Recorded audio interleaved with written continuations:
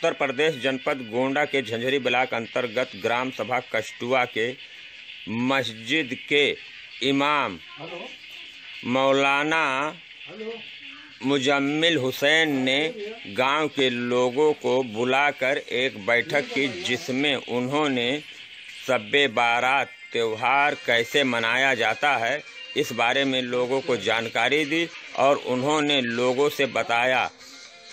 कि बृहस्पतिवार से शुरू हुए इस त्यौहार को जो शुक्रवार सुबह तक चलेगा, सभी लोग अपने घरों पर रहें और नमाज़ पढ़ें, रोज़ा रखें, दुआ मांगें। अपने बुज़ुर्गों के लिए दुआ मांगें, क्योंकि इस समय पूरा देश लॉकडाउन है और देश के हित के लिए हम लोगों को भी आगे आना होगा। सभी लोग अपने अपने घरों में रहें और नमाज़ पढ़ें, रोज़ा रखें। दुआ मांगे। M I plus news network से उत्तर प्रदेश जनपद गोंडा से मोहम्मद सुलेमान की रिपोर्ट।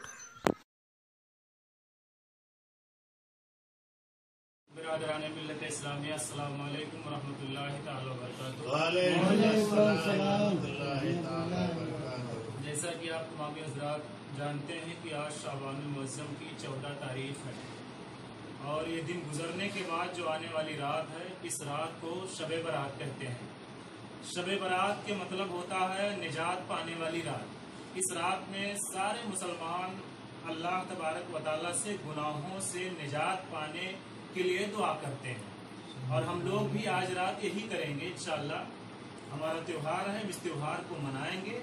बशर्ते जिस तरीके से हम और आप मस्जिद में इकट्ठा होते थे उसके इवज मस्जिद में ना इकट्ठा होकर के अपने अपने घरों में हम जागेंगे, कुरान पढ़ेंगे, नमाज़ पढ़ेंगे, और जो कुछ भी जिसे आता है वो उस तरीके से अल्लाह तबारक वाली को याद करेगा।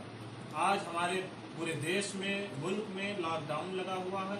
उसको मद्देनजर रखते हुए हम और आप उसको मद्देनजर रखते हुए एक जगह पे कहीं इकट्ठा ना हो, दो तीन लोग इकट्ठा ना हो, घर से बाहर ना निकले, और इस लॉकडाउन का पूरा पूरा ख्याल रखें। जैसा कि पूरे देश में लगा हुआ है। और वो इसलिए लगा है कि आपके शहर में बीमारी आई है जिसका नाम कोरोना वायरस है।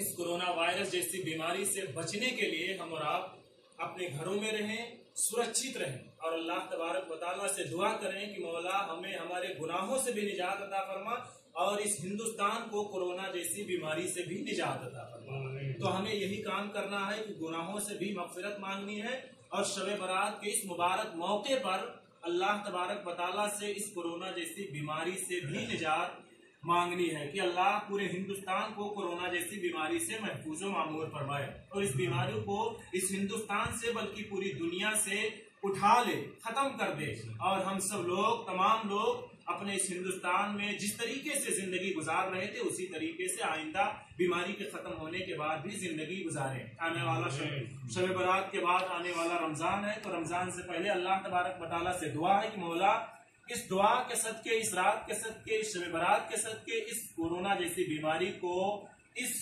हिंदुस्तान से बल्कि पूरी रुए ज़मीन से इस बीमारी को खत्म कर दे। ये शब बारात है शब के माने रात होता है ये रात का त्योहार है। इसमें कोई ज़रूरी नहीं कि इकट्ठा हो। हम अपने अपने घरों में जिस तरीके से हम लोग आज कई दिनों से अपने घरों में कैद हैं इसी तरीके से आज रात भी हम अपने घरों में कैद रह करके और इस त्योहार को मनाएँगे। अल्लाह तबारक बताला तमाम ही हिंदुस्तान के मुसलमानों बल्कि पूरे रुए ज़मीन के इंसानों की इस बला से निजात अता फरमाए और सबकी इस शब बरात के मौके पर सबकी बख्शिशो मफफरत फरमाए। अस्सलाम वालेकुम रहमतुल्लाहि व बरकातहू